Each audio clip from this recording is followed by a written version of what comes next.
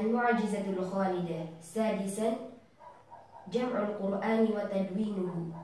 استغرق نزول القرآن الكريم مدة ثلاثة وعشرين عاما وكان للرسول صلى الله عليه وسلم كتاب يكتبون له القرآن.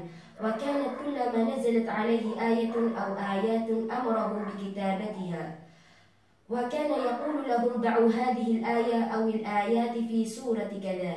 ولم يجمع القرآن في مصحف واحد في حياة الرسول صلى الله عليه وسلم.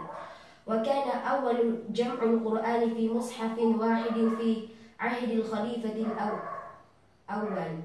أبي بكر الصديق رضي الله عنه في السنة الثانية عشرة للهجرة. بعد موقعة اليمامة مع المرتدين التي قتل فيها سبعون من قراء الصحابة وعلمائهم.